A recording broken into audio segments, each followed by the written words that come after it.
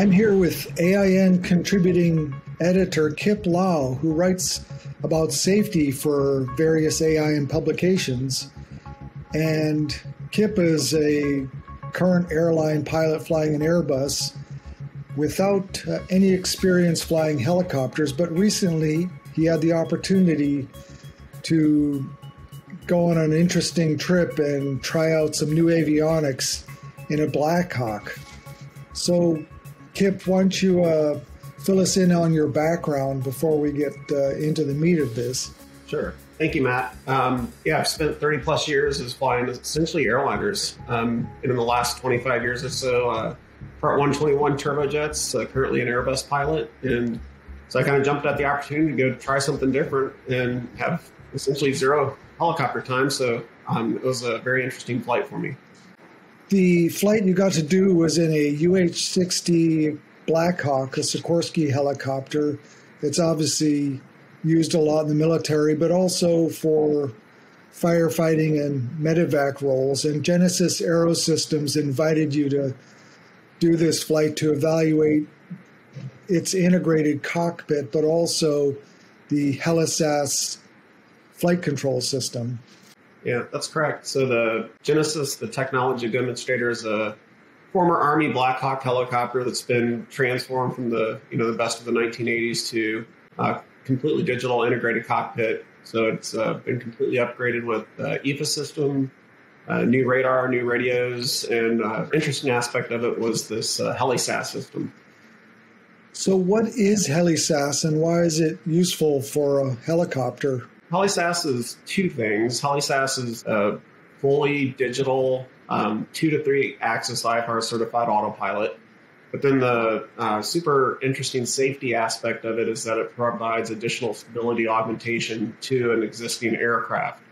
So, um, a couple of things that it does benefit the, um, in addition to added stability for the helicopter since they're inherently unstable, um, it also adds some flight envelope protections. As an Airbus guy, I kind of like that. Um, but then also, it provides um, a recovery mode, which, as you know, um, one of the leading causes of fatalities in the rotorcraft world is uh, flight into inadvertent IMC or a degraded visual environment where the air, where the pilots lose control of the aircraft. And as they lose control of the aircraft, um, what'll happen? You know, obviously, it, as a catastrophic ending. So with HeliSAS, uh, the recovery mode is essentially they release the cyclic, and then the aircraft will recover itself into a stable uh, attitude how did you prepare to evaluate HeliSAS and the and the new cockpit, given your lack of experience in helicopters, Kip? Yeah, so so as you know, with these demo flights, there's a lot packed into each. So uh, to prepare, I essentially got a hold of as much technical stuff as I could on the avionics system and then on HeliSAS itself, so that I once I did get into the aircraft, I'd be less distracted on the actual flying of the aircraft, and then you know brushed up on some past helicopter uh, reading to see what the flying in a helicopter would be all about, and then just let her go and obviously listen to the demo pilots and everything they had to offer to you know make sure that it was a safe flight. What are some of the key features that really stood out to you, especially since you've been flying Airbuses so long that have envelope protection built into the fly-by-wire system? what's really cool is the uh, HeliSAS is that it provides uh, overspeed protection. So if you're in a position where you're uh, overspeeding the aircraft, the HeliSAS will automatically kick in and start pitching the nose up of the aircraft to slow it down. Um, in the same vein, if you're um, underspeeding the aircraft, it'll actually pitch the nose over of the aircraft to allow you to speed up into a safe speed. Um, and then essentially a great demo on the flight was the uh, recovery position or feature of flight envelope protection was where uh, the aircraft was put in a position where it was in a excessive pitch over in an excessive bank at a high speed. And for the demonstration, the demo pilot released the cyclic, and the aircraft righted itself into a near wings level position um, with just about two degrees nose up. And it ended up being on a nice, safe, stable platform. And then we are just able to fly out from there what are some of the limitations of HeliSAS? I mean, any system can still get a pilot in trouble, right? Yeah, so currently, like the autopilot's not active until 40 some knots. Um, HeliSAS is on in the background all the time. So HeliSAS provides additional stability when you're in the hover mode and such.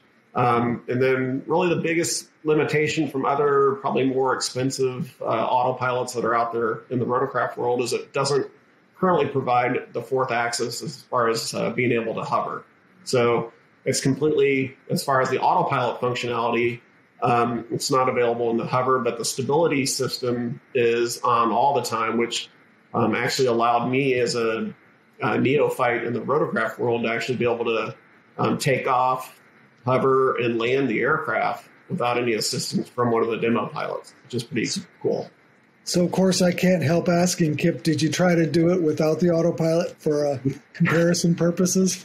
yeah, we did. the outcomes are much different. Is so, that enough said?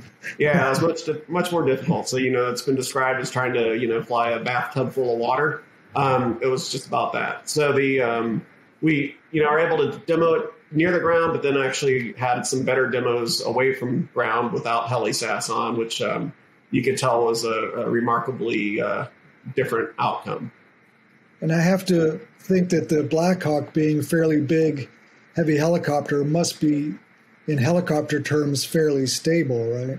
Yeah, absolutely. You know, my only previous experience was like a couple hours in a Schweizer, and um, that was a handful to fly. And the Blackhawk is very stable in flight, um, especially with HeliSAS. Um, and then, you know, obviously a bigger hel- aircraft's going to have uh, more inertia behind it too. So if you get it going the wrong way, it's probably going to um, go out of control a little uh, quicker. One of the interesting safety features of HeliSAS is the hover vector. Can you explain what that does, Kip? Sure. The hover vector is a real dynamic uh, cue which provides a point on a display for the pilots to um, either on the synthetic vision system or on a dedicated display. It makes essentially a spot on a runway, taxiway, or helipad of where the aircraft's going to end up once you're landing. So, again, in a degraded visual environment such as a brownout or a whiteout, the pilot can simply, uh, with instruments, precisely place the aircraft on a specific spot um, when they're landing it. It's a great cueing, a great uh, feedback mechanism for the pilot to land the aircraft. So HeliSAS is certified on other helicopters besides the Blackhawk, right? That's correct. Yeah, so it's currently uh, Airbus single engine line um, from the um, H120 all the way through the H135 um, is certified on the Airbus helicopters. It's certified on the Bell uh, 206, uh, 407, and the, now the 505 in a VFR capacity. And it's also certified on um, the Robinsons, the R44 and the R66. Excellent. So in terms of some of the flying you've done, uh, how did this rank on the scale of fun? That was a lot of fun. so, you know, so I'm typically used to like the time I spend below a thousand feet is uh, nanoseconds, it seems. But you know, I spent the entire demo flight below 900 feet at a speed less than 100 knots, but um, you know, often below 200 feet. And yeah, I got to see what a helicopter is all about, which is pretty cool. Kip, thanks so much for doing this demo flight for AIN, and we look forward to more in the future. Absolutely. I enjoyed it. Thanks, Matt.